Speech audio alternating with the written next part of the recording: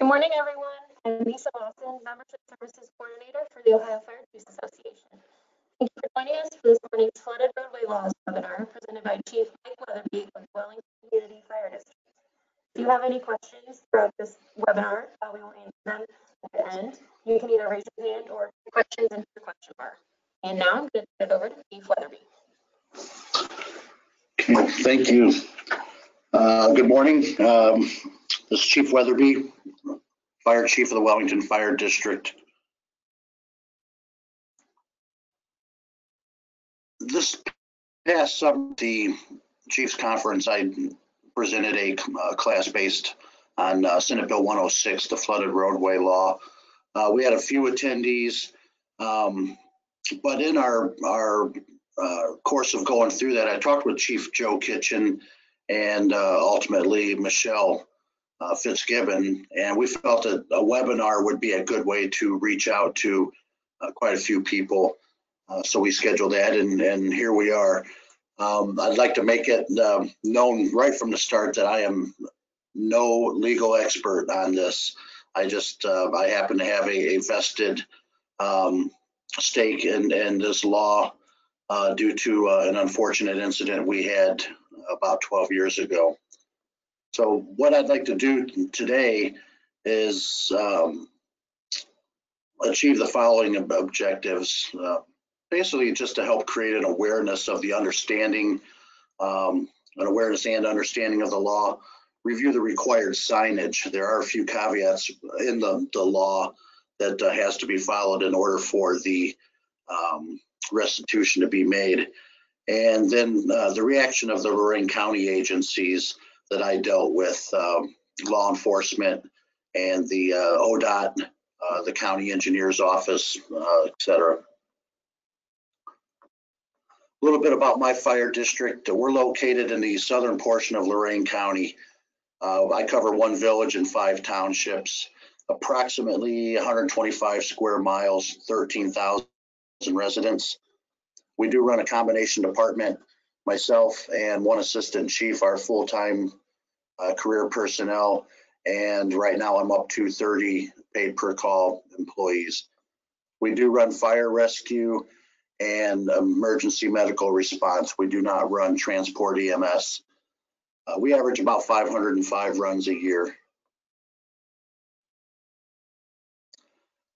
The reason I'm, I have uh, such a- an investment in this is uh, June 22nd, 2006, we lost one of our divers in a swift water accident.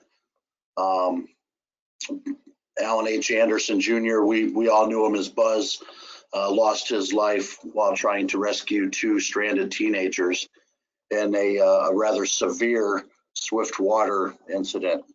And part of my presentation, I'm just going to go quickly through um, the um, events preceding and, and uh, the events during the incident, and then we'll get into the uh, the law uh, itself and, and discuss that. The evening prior to our incident, uh, most of our personnel were out all night. Uh, we were fighting a, uh, a structure fire due to a lightning strike and we experienced heavy rainfall the entire previous day. Overnight, it was a moderate to heavy rain, steady, um, five inches plus, and it left the area saturated and uh, a lot of uh, runoff.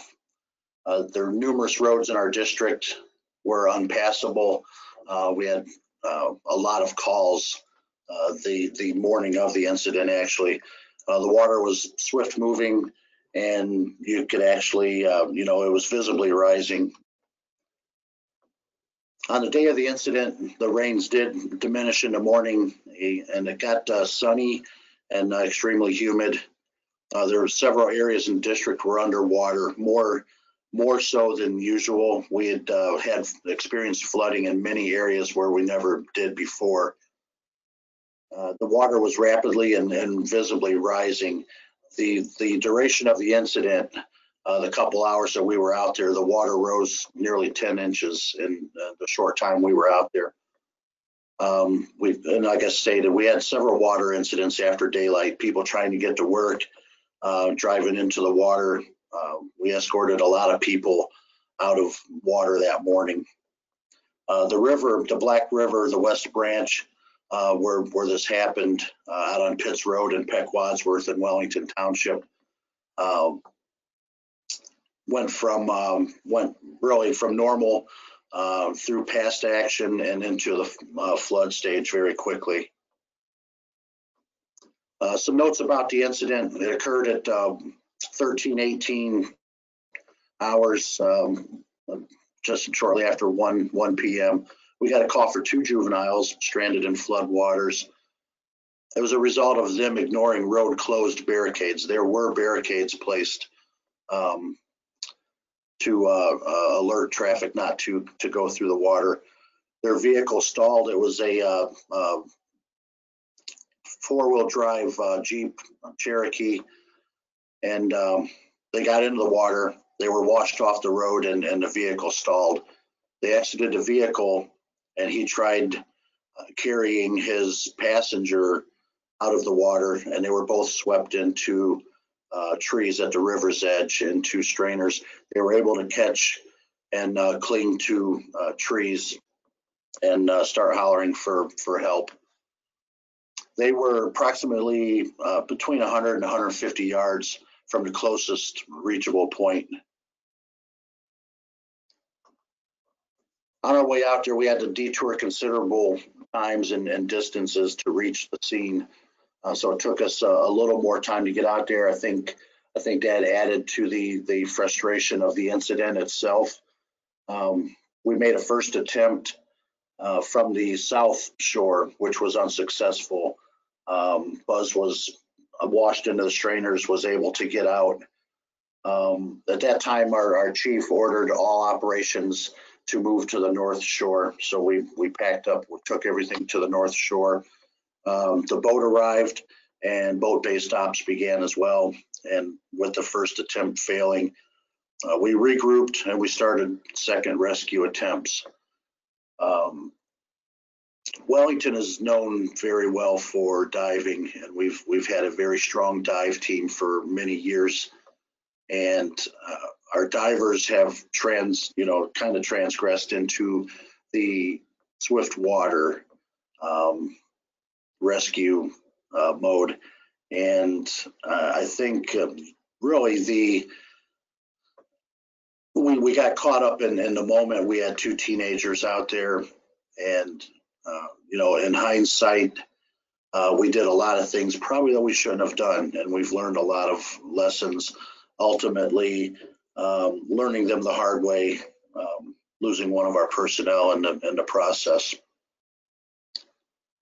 Some of the incident notes. Um, when Anderson was going in for his second attempt, he explained what his plan was.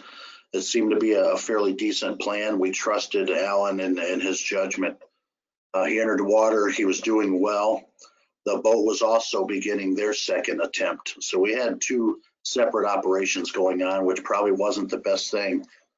Um, just before Alan reached the teens, he started to signal that he, he was in distress and we began moving him slowly. At first, he was able to help uh, with self-rescue efforts. Uh, when we noticed that he uh, was no longer able to uh, help himself, that's when we uh, removed him immediately and began resuscitation efforts. He was life flighted to Cleveland, pronounced dead a short time later. Um, not something we had planned on happening that day. Uh, like I said, I think we were we were overwhelmed by the situation. We let uh, we let emotions take over, and uh, you know our judgment was uh, I would say our judgment was was compromised by that. Um, we like I said we were more of a diving type department than swift water, and I feel that got us into trouble also. There was uh, a lot to be learned after after that, and and we we concentrated on training. Uh, we had very good rapport with Alan's family, and we we stood by his family, and uh, they stood by us. They backed us through some bad times when we were ridiculed and criticized uh, severely. uh, we had the, the, the backing of, of Buzz's family, which, uh, that meant a lot to us. But we made it through and basically that's why I'm sitting here today going through this is we, we have a, uh, a major stake in, in this. This is a picture of Buzz on the second attempt. This was made from the south shore. Uh, you see the vehicle there, and then you see the point.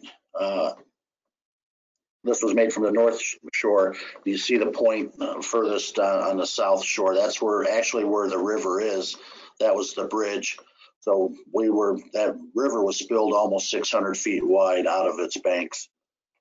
So it was uh, it was quite a scene.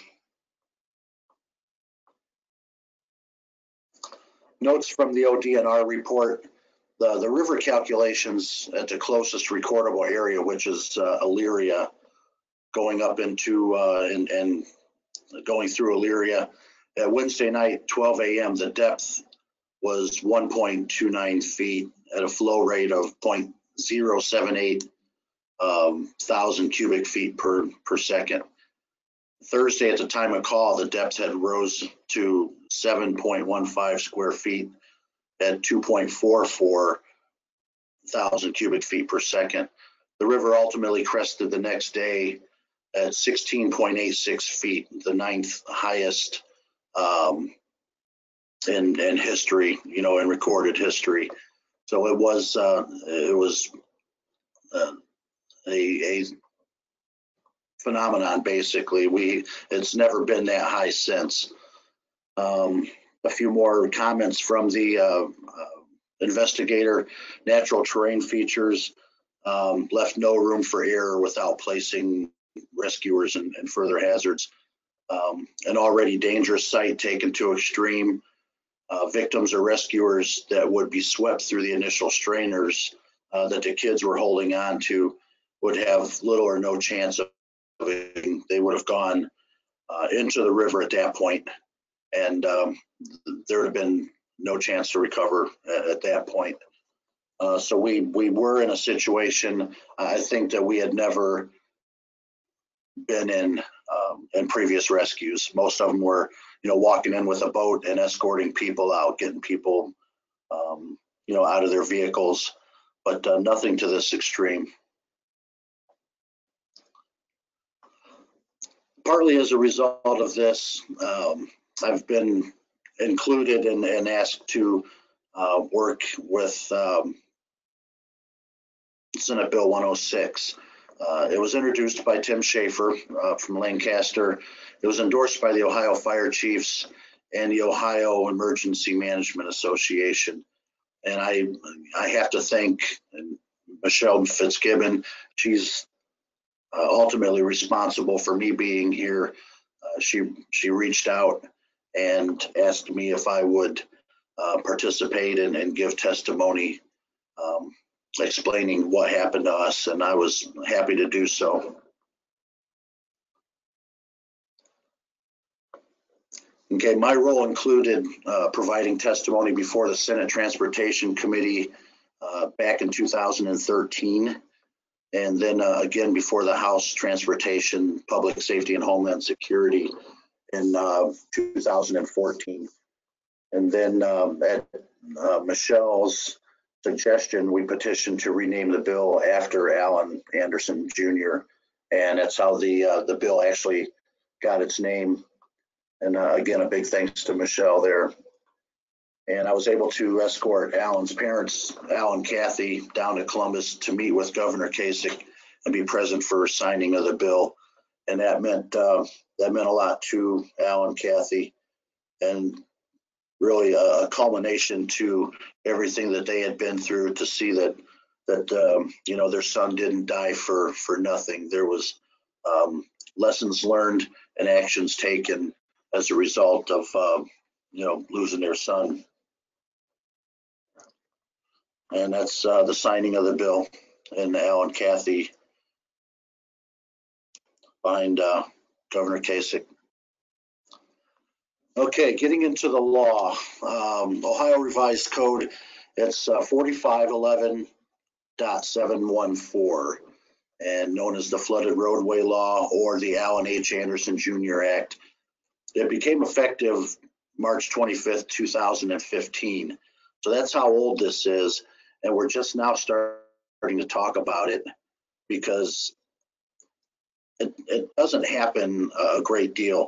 Since we lost Buzz, we, we have not even done a handful of rescues. Uh, so I'm, I'm hoping people are getting the, um, the message not to go through high water. But uh, it's not something we, we do a lot.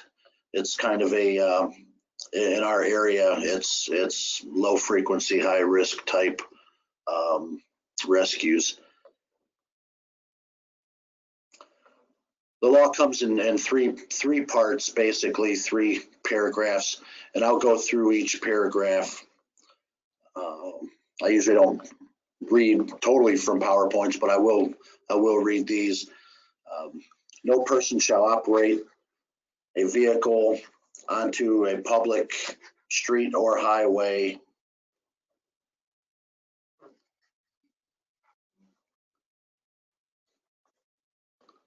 that is temporarily closed by a rise in water level, including groundwater or an overflow of water that is clearly marked by a sign that specifies the road is closed due to a rise in water level and that any person who uses the closed portion of the road may be fined up to $2,000.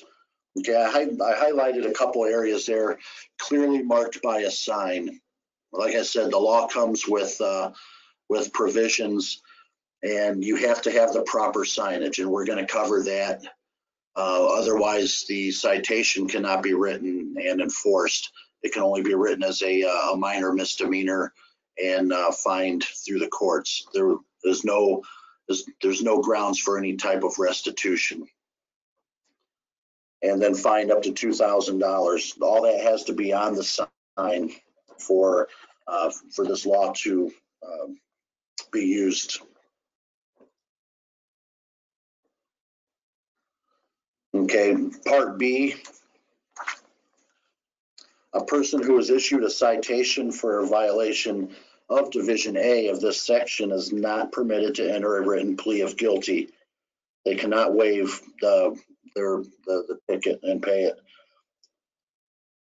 They have to appear in court and, uh, the proper, appear in court to, uh, answer the charge, okay? They're not allowed to waive the ticket. They have to appear before the judge. Okay, and then C, whoever violates Division A of this section is guilty of a minor misdemeanor. In addition to the financial sanctions authorized or required under section 29, 29.28, and we'll cover some of this as well, of the revised code and to any cost otherwise authorized or required under the provision of law, the court imposing a sentence upon an offender who is convicted of or pleads guilty to a violation of Division A of this section shall order the offender to reimburse one or more rescuers for the cost any such rescuer incurred in rescuing the person, excluding the cost of transporting the rescued person to a hospital or other facility for treatment of injuries, up to a cumulative maximum of $2,000. If more than one rescuer was involved in an emergency response, the court shall allocate the reimburse- uh, reimbursement proportionately according to the cost each rescuer incurred. A financial sanction imposed under this section is a judgment in favor of the rescuer and subject to a determination of indigency under Division B of Section 2929.28 of the revised code.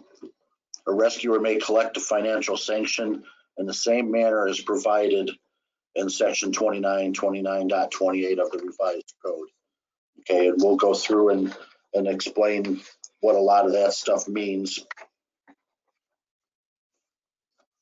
And then finally, um, as used in this section, uh, emergency medical service organization, firefighting agency, and private fire company have the same meanings. Um, you have to basically um, be considered one of those under 9.60 of the revised code. And rescuer means a state agency, political subdivision, firefighting agency, private fire company, or emergency medical service organization. So this just isn't for the fire and rescue departments. Uh, if you have, um, private ambulances, they are, um, uh, they, they could probably go after restitution, um, if you're, uh, law enforcement, you know, state patrol, sheriff, local law enforcement, they could probably, uh, go after this restitution as well. So it's kind of for anybody involved in the rescue of, of the, the, uh, accused.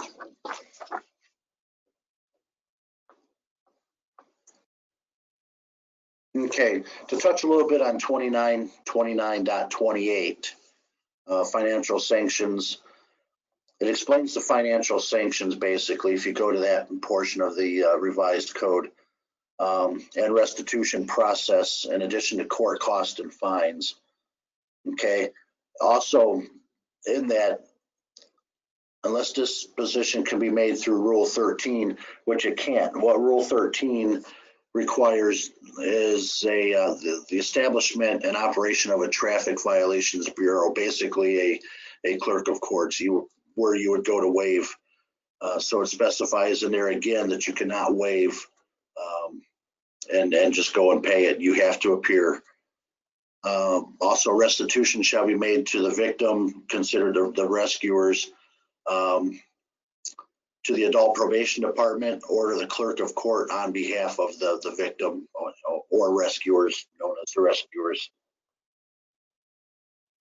Continuing at 2929.28, the judge can order restitution based on the amount recommended by the rescuer or the amount recommended by the offender. If the offender says, I, I'll agree to pay this much, the judge may say, okay, that's fine. You know, we're gonna tack that on and, and that's gonna be considered restitution to the, to your rescuers on top of your hundred and twenty dollar fine for a fourth degree, um, misdemeanor. It can be ordered based on a pre-sentence investigation report uh, estimates or receipts for repairs or replacement of, uh, you know, lost or, or, or damaged equipment, uh, any other information that's offered. And the cost recovery data, uh, I would tend to say we should stick with, you know, in my department, we're sticking with FEMA rates for equipment. If, if you have engines, rescue trucks, whatever you have out there, um, try to stay close to the FEMA rates, uh, the salaries of your personnel, and it must be justifiable. It cannot exceed, um, you know, uh, a large amount of cost. You, you can't add cost or just throw something out there uh, for punitive purposes. It, it, it is basically to recoup uh, to recoup your costs. The court can hold a hearing uh, to determine if the defendant is able to pay restitution. If they determine uh, that there is a, a case of uh, indigency, that they, they are not going to pay or not going to be able to pay, they can order community service under 2929.27, uh, section A. So it's, you know, if you can't get the money, they're, they're going to order community service in, in most cases. So there's, uh, like I said, along with the law comes a lot of other um, um, caveats.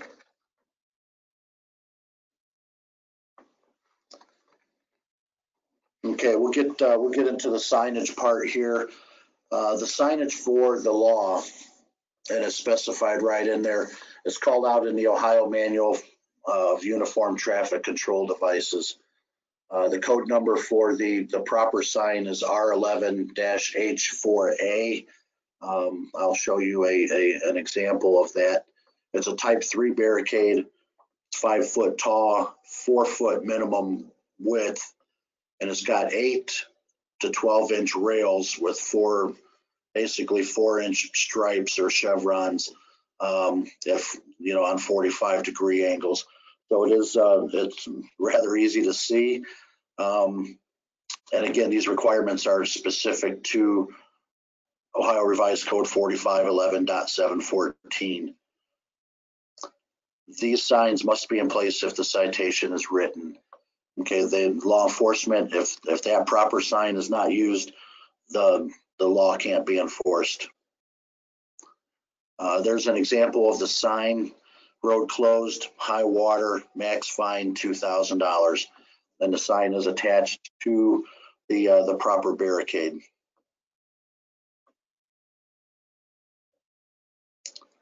That's the page out of the, um, the manual that gets, uh, uh, published and, and sent out to, uh, ODOT and, uh, county engineers. It's got all the dimensions for the, the lettering, numbering, uh, sign height, width, everything is on there. Additional signage we see quite often, and, and I just threw this in here. A lot of places in our district, we have depth gauge markers uh, where you can stand and see what the, the uh, depth of the water is. And then just kind of high water warning signs uh, to alert drivers that they're, they're approaching an area of high water. Okay, so that's the signage, and, and again, the signage is, is very important. And what we did with uh, our fire district is the firefighters association, they donated money and had signs made and give to each of the townships uh, based on how many areas that they have that needs to be closed on a regular basis. So we, we actually give the proper signs to our townships to make sure that they would be used, the- that the proper signs would be out there and, and be used. Um, The biggest thing with the law is education and awareness, okay? Making sure your jurisdiction is on board. Uh, Is the public aware of the law? Other agencies, your law enforcement, uh, your county engineer, township uh, roadman and and trustees, um, fire departments, legal systems. Uh, Do they know about the law and are they, they prepared and willing to enforce the law? Okay. And starting with the public, get the word out, you know, go uh, put out press releases, uh, utilize department literature, get things, um, you know, uh, out there in print, talks, lectures, uh, newsletters, and urge the other agencies to do the same. Make the public aware that uh, no longer is it going to be a slap on the wrist to, to enter high water and have to be rescued. It's going to be, uh, it's going to hurt them financially to do that. And going through our agencies here, I've, I've talked to all the agencies in Lorain County and, and asked them how they receive uh, updates when laws have changed. And uh, I was surprised that many agencies in Lorain County, even in, in 2018, still are unsure and, and not in full understanding of what the law actually is uh, in the signage. Um, a lot of the law enforcement were not um, aware of, of the, the, the change in the law, basically. Um, how do they receive the, the, the booklets, the county engineer? They usually get the, the, uh, the manual and they have to go through and they'll check the revisions and, and see. Uh, Lorain County, I must say, did a very good job. Uh, those were Lorain County signs that, uh, that I showed you the picture of. So they are using the correct sign and they are getting out there, getting out there early and getting barricades placed where they need to get them placed in times of uh, high water. Um, so I, I really have to commend Lorain County. They know uh, when the signs are, are to be placed and, and um, where the signs are to be placed and, and they seem to have an adequate supply of, of the proper signage. Ohio Department of Transportation generally changes in laws and changes to the, uh, the traffic control manual uh, are communicated from the central office down, down the line through the district and into the county level. And speaking with ODOT in Lorain County, they were also somewhat aware of the law and they, they keep a pretty good eye on, on the signage. Um, much of it is made and sent to the county level to ex- replace existed, uh, existing, uh, signage. And a lot of times how they're, uh, made aware of, of road blockages due to high water are by, uh, OSP or general public is calling. Uh, a good example right now in, in my district, we have a flooded uh, state highway and uh, they were they were right on top of it. Uh, ODOT or OSP had alerted them, and I had you know people calling the fire station, uh, so we were able to contact ODOT as well, and they had already had the road closed at that point. Your townships, a lot of your information is passed uh, through the townships through meetings, bulletins. Uh, they have township association meetings and and um, you know, newsletters. That's where uh, uh, the townships are, you know, learn a lot of the changes and, and laws and if there's any, uh, you know, change in, in verbiage or revisions. They pretty much know the quantity of signs they need by past experience. They know where their roads flood. Um, so they know their trouble areas. And I, I know in Wellington's fire district, every township knows where to look first, you know, which areas are going to flood first, second, third. Um, and they, they stay on top of it. They do a, a fine job. Uh, they're usually, they're alerted by phone calls uh, from the public, safety services, et cetera. We put people out uh, driving township roads uh, to see where the water levels are at. And um, uh, like I said, again, they know pretty much where to go first uh, to get the signs placed. Fire and rescue, they usually learn about changes through presentations, lectures. Um, a lot of times at your department, county, regional, and state levels. Uh, we try to get the word out with uh, instances and and and um, situations such as this. Uh, I think we do a, a pretty good job communicating and and getting passed around through the county and and uh, regional and state levels. We work with all agencies in respective jurisdictions, uh, mutual aid agreements to enforce, and then we need to have a good system to pass restitution costs uh, quickly and, and, and efficiently. And that's that's one of the, the tough things is, is the police are asking, well, how how do we know what uh, what the costs are going to be or what your costs are going to be or you know, how will the judicial system know as a judge that's going to throw a monetary figure out there, or is he going to have something to go by? And that's why we we have to have a, good system to pass on these costs quickly and efficiently, so it's it's not lost. Law enforcement, they uh, receive their changes through a lot of bulletins, legislative reviews, seminars, lectures, pretty much the same way the fire department does. Uh, some of your departments, they will have a person that is responsible for um, reviewing changes in the law, so they they are up to to date. Um, I, I, just I found it odd that uh, some of the law enforcement agencies in Lorain County weren't uh, weren't aware of the law until I approached them and, and sat down and talked with them. Um, Another question I ask law enforcement, would the officers write the citation if all the conditions of, of the incident are met? Or will they just write uh, going around, or going around a, or uh, traveling on a uh, closed road? Um, most of the agencies seem to think that their officers would write uh, the citation.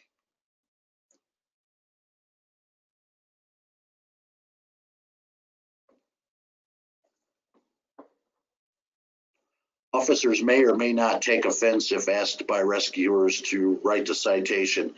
That was another question. If if I am on scene at an incident and I walk up to, um, for example, the um, highway patrolman that is doing the investigation and ask him, are you going to cite him according to um, flooded roadway law, you know, 45 11.714, uh, am I gonna get, uh, am I gonna get yelled at or, or treated poorly? Um, I actually had a, a couple police chiefs tell me that, yeah, their officers may take offense to being asked if they're going to enforce the law accordingly. So that's, that's something you, you have to, uh, I guess, at that point, build a rapport and let them know. Um, So it, it doesn't appear that you're, you're telling them how to do their job. Uh, I had the, the, um, luxury of talking with one of our, our county prosecutors. And I, I went through and I asked him the questions and he answered the, the questions that, that I was most concerned with. And that is, what's the judicial system going to do when faced with, um, you know, the, the first time this shows up in their courtroom? And, and I ask them pretty much what I ask all the other agencies. How are the courts or judges made aware of changes regarding, uh, the Ohio Revised Code and traffic laws that may require their ruling. And again, a lot of them are seminars, bulletins. Um, generally, if the case is based on a charge they aren't familiar with, they'll look up the code section and go by the code. So that's um, that's another reason to get with your judicial systems and make sure that, that they're aware of this. That uh, you know they start passing the word through. Would judges in Lorain County be inclined to rule in favor of restitution if the defendant is properly cited and all the provisions of the law are met? And they seem to think yes, unless um, indigency could be proven. Uh, restitution must be substantiated. Uh, they, like I said, they're not going to let us just throw um, figures out of the air and, and, and get paid for it. We have to have justification for the reimbursement that we're asking for. Uh, costs can't be off the cuff or inflated for punitive reasons. Other than provisions in the law, is there any reason that judges would choose not to impose restitution? Again, ind- indigency would, would most likely be the only reason. Uh, in that instance, the other option would be community service. The court may determine indigency right away, or it may be the result of non-payment of the order they may feel that the, the uh, accused or the convicted can pay. And then after, at, at that point, they don't pay and won't pay, refuse to pay. Um, you know, that would be a, a reason that it would have to go further than, um, but the prosecutor has no reason to believe that uh, any judge would order community service over the financial restitution if the defendant's able to pay or choose to take no action at all other than uh, just giving them the fine for the minor misdemeanor. If it's there, if the costs are there, if everything is is adequate and in order, um, he had no reason to think that the, the judge would make any other decision. Uh, in his opinion, uh, would the judges take offense if um, the agencies that are seeking restitution attended the court date? Uh, if they asked for a chance to uh, explain uh, what the restitution was for, he felt that the judges would be uh, greatly in favor and probably welcome the opportunity for uh, a fire chief or um, you know the uh, the patrolman to, to go to court and speak on why why they're asking for what they're asking. Um,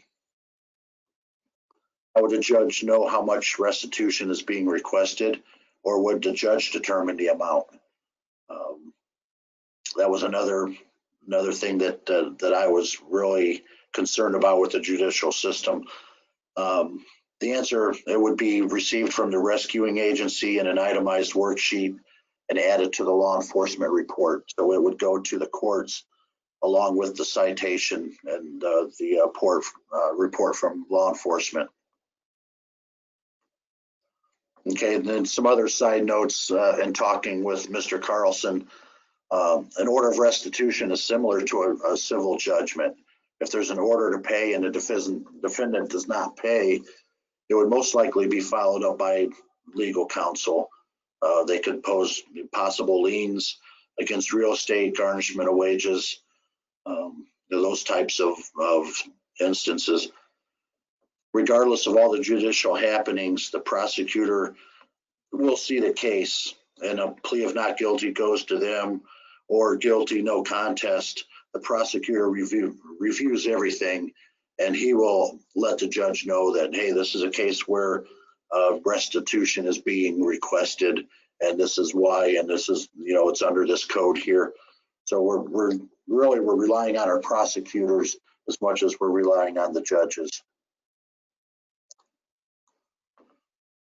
Okay, talking with the prosecutor, I ask basically what is the best way to pass or forward restitution costs so the court gets them and understands them. And we went with a good, better, best uh, situation. And uh, the good is the citation cannot be waived, okay, under, um, under the law. They, they must appear. So the prosecutor can request a sentencing hearing for a guilty or no contest plea. Uh, if a, a not guilty plea is given, the case would go to the prosecutor then. Okay. So that's, that gives time for the prosecutor to get those restitution costs in his hand and, um, you know, make sure that everything is, is in order. A better situation would be ask law enforcement to delay the citation and assignment of the court date. Forward a copy of the restitution costs to law enforcement in a, in a timely manner so it can be turned into the court or turned into the prosecutor with the actual citation and re- report. And then the report um, can be served to the defendant all at once, you know, and the court date uh, established. That would require them to, you know, go go back out to the uh, the, the uh, defendant's house or something to issue the citation or to give the paperwork and assign the court date. Um, so that's kind of kind of cumbersome for your for your law enforcement. Uh, the best way he came up with, and we somewhat agreed, uh, is to have a formal worksheet with the vehicle equipment and manpower costs listed. Have that in in uh, uh, your apparatus in one of your uh, your notebooks or um, you know printable from from your uh, MDT or something that that you can give law enforcement right there on scene. Uh, complete the worksheet at the scene, give it to them at the time of the incident, and then there's no question they've got it in their hands um, when they leave the scene, and it can be forwarded with the citation and, and their report uh, to the courts. And what I did is this is what I put together for our fire district and just has, you know, our local jurisdiction information, um, date and time of the incident, the driver information, and then I, I listed up to, I, I believe, 10 resources. And then I put our resources with the cost. If we have, for example, if we have a ladder truck out there, we're going to charge or ask for $100 an hour.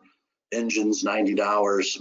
And again, these are based on FEMA rates or very close to FEMA rates. Um, you know, on down the line there, wages, uh, you know, $15 an hour for the firefighters, uh, myself, my assistant chief wages, whatever. All that is there. All that can be filled out, signed, dated, and given to law enforcement right there on scene. So there's no question at that point.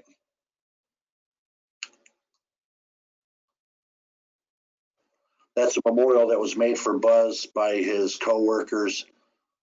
And uh, that is at the scene where where he lost his life.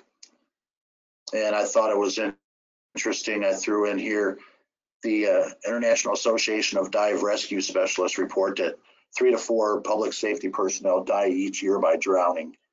So that might be just divers. That could be divers and or swift water. But um, you know, we do uh, we do lose you know a few people every year on average. I would like to thank you for giving me the opportunity to do this webinar. Um, I'd be happy to answer any questions you may have. And you can uh, get my contact information here. You can um, you can ask uh, any questions that you have uh, here, or you can feel free to contact me, call me, email me. Um, You know, I'll send you anything that I have or try to answer anything I have. Uh, Again, let me state that I am no legal expert. I am learning this as I go. And uh, you know, luckily, we have not had to test this law, and that's that's, that's a good thing on our part. And if other jurisdictions are in situations where they have to test the law, I'd be interested in finding out how things went, you know, through the, uh, through the legal and, and, and the court system. Um, so How, how, how did it work out for you guys? So with that, I'd be happy to answer any questions you may have.